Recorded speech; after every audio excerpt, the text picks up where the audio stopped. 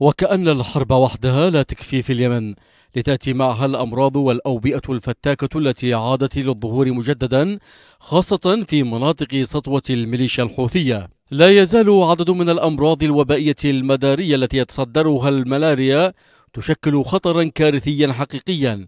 يتهدد حياة اليمنيين خصوصا مع غزارة الأمطار الموسمية المصحوبة بتجمع المخلفات والمياه الراكدة واختلاطها بمياه الصرف الصحي في كثير من المناطق ما يؤدي إلى تكاثر البعوض الناقل للعدوى بتلك المحافظات.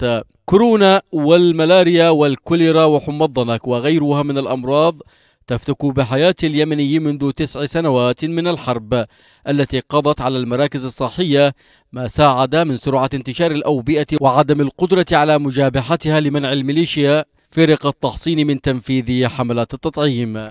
تتفشى الأوبئة بشكل غير مسبوق في عدد من المحافظات اليمنية.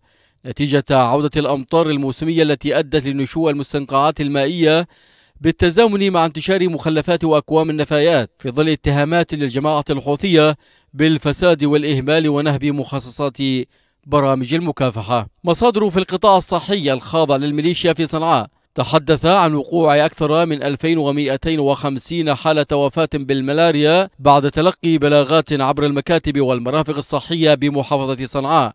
والحديدة وإب وذمار وريمة وحجة والمحويت وعمران على مدى الشهرين الماضيين بتسجيل أكثر من 82 ألف إصابة.